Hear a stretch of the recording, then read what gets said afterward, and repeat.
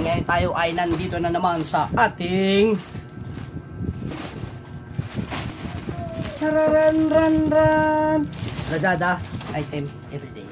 Kung mapapansin nyo mga boss, medyo maganda yung settings natin na video ngayon, ano? Ba? Kasi, kinalkalkalkan natin yung ating uh, pero pogi naman talaga ako kahit uh, kahit walang mga settings-settings na ganyan. Hindi mo pagkakaila ang uh, kagopuhan taglay natin mga bossing. Okay, balik tayo rito. Ayan, yung naririnig nyo, ano yan? Alien. Okay, Lazada item everyday mga bossing. Dumating natin isang item lang ngayong araw na ito. Isa lang ba? Isa lang mga bossing. So, ito po ay galing kay ito po ay ano no, super loud horn para sa ating motor. Papalitan ko na yung mock na busina. Ng mga bossing kung makikita nyo isang video natin dyan, nag-install tayo last year ng mock na busina. Pero hindi na natin ma-advise yan. Nyo kung bakit? Ano siya eh, um, hindi mo talaga siya mapapatino. Hindi ko alam kung ako lang naka-experience, pero since pati yung pamangking ko na-experience niya, yung busina niya nagloko after one month to ano, sabi daw nung gumawa ay sira. Ah, hindi po.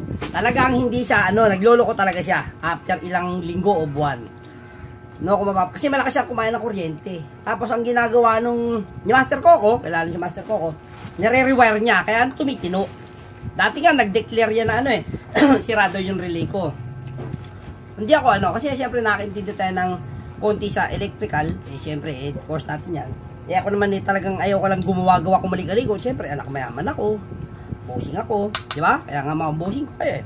Tapos tingnan mo yung kamay ko, papakalkalin nyo na ng wire yan. Yung kabila. Tsaka mga ano, huwag na yung kabila. Kasi yung kabila, robot yan. Ayan o. Oh. Has ganito na nga. So, humalik po tayo sa ating Tsaka na natin ano, bibidyohan yung ano, yung, sa, yung review natin dun sa mock. Siguro yung mga rider dyan, no, gumamit siguro kayo niyan Basta ako, hindi ko alam ba, ako na-experience ko yun, naglolo ko siya, since si Balong, yung pamangkin ko, ganun din ang nangyari.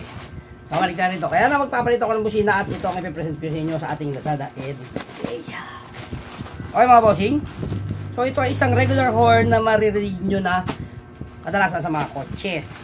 So, ang seller po natin ay si... Quad Axis Intern. Yes, Quad Axis International. Intern. Ano to intern? Yung pag nag-aaral ka, mag-nursing ka, mag-intern ka muna, magpupulis ka, mag-intern ka muna. Yun yun. At nagkakahalaga lang ito ng 399 pesos kasama, ay di ba, plus 90 shipping fee. Sa Rodriguez Isa. Yes, kaya 400 pesos binero mo. At ito siya. MSM po yung brand. MSM. Pero ang seller si ano ah, quad axis. Pag nakabit na ni Master ko, ito, tsaka ako napapakita sa inyo. So, dito naman palagi, unboxing lang. Siguro yung mga naka-experience dun sa dun sa problema ng mock na horn, pwede kayong mag-post dito sa channel natin. No? Basta pag nangyari yung ganun, na parang mangyari na minsan eh, hindi na solid yung busina niya. Huwag kayo maniniwala sa gumagawa na sira. Hindi sira yun. So, kailangan nyo lang po siyang i-rewire. Kukuha kayo ng bagong grounding, uh, kukuha kayo ng mas matibay na grounding post at ililipat nyo po yung kanyang positive supply. Tapos, itry nyo rin na palitan yung inyong mga relay. Ano po, ganun lang. Hindi ko alam, hindi ko rin mapaliwanag kasi chinarge ko yung baterya, ganun pa rin nangyayari. So, tapos ilang beses nagloko, napapatino naman, pinililipat nga lang ng wiring. So, yun yung sinasabi ko. So, pagka, kasi isang taon na yung mock ko eh. Hanggang ngayon, buo naman. Napapatino ni Master Coco na ang isang buwan, dalawang buwan. Ay, isang buwan, two weeks hanggang isang buwan. Kapag nagloko, huwag kayo maniniwala sa mga ibang mekaniko na sira. Okay? Yung pamangkin ko, naniwala, pinihit-pihit yung sa mga busina kasi may pinipihit dyan. Yun yung tinatawag na variable control mga boss. Kasi yan mga yan, hindi naman mga electronic technician yan. Kaya, whoosh, yun, yun yung ano, eh, variable tone control. Tsaka yung output. No, kaya wag yung pagagalaw yon. Kaya nga naka-default yun, eh merong ano yun, may shield. May shield, may ano, kung hindi naka blue gun o ano. Kasi dahil para yun doon sa settings.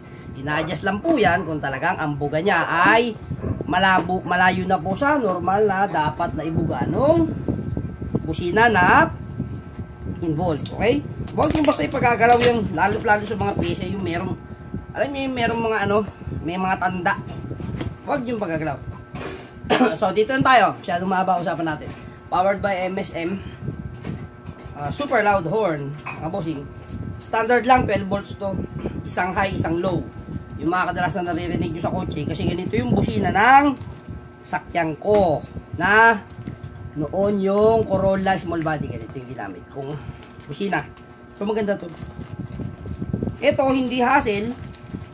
Hindi maselan. Kasi subuko na nga itong MSM na to. Hanggang ngayon dun sa Wigo na ginagamit namin na ang mga anak ko pala, hindi sa akin, ano. Eh, ito ang nakakabit ng busina.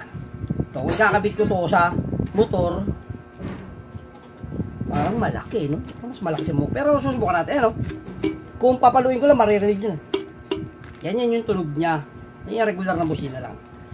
So, syempre, kapag unboxing, ito lang naman ang laman, mga bossing. Okay, so, andito ang inyong high horn. Yung isa, ano, yung high. Tapos, ang isa ay yung low. Okay. So, yung high ay merong 430 Hertz. Okay?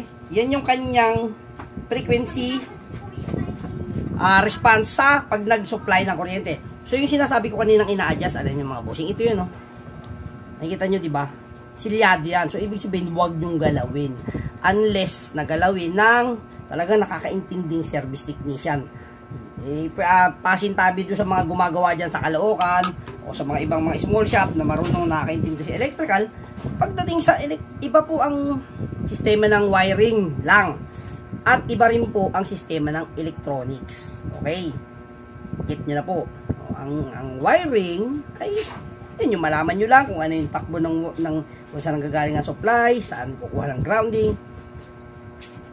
So, iba iba po lalo ibang iba ang sistema ng merong electronics o merong isang alam niyo para para gumana yung isang para gumana ang isang um, gadget eh dumadaan po yan sa proseso yun po yung tinatawag na meron tayong electronics na nangyari so sa wiring kasi talagang wire lang yan from there to here parang kung, kung gagawa ka ng bahay eh, entrada galing sa poste papunta po sa inyong bahay gagawa ka ng entrada daan sa mga safety switch, etc. So, napakahaba na ng paliwanag ko. Busina lang naman ang ating i-unbox sa ngayon. Pero bakit ang dami kong sinabi? Ang lakas ng tama ng Red Horse. Okay mga bossing ha, yung review natin dito, ipopost ko na lang once nakabit na ni Master ko at para marinig nyo rin yung kanyang tunog.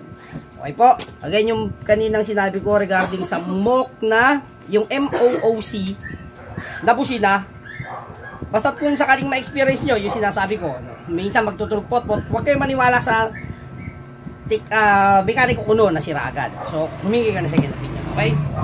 Ito lang muna ang pipresentahan sa inyo ngayon. Basta pagka okay at naikabit na, upload tayo video. Mga bossing, rock and roll.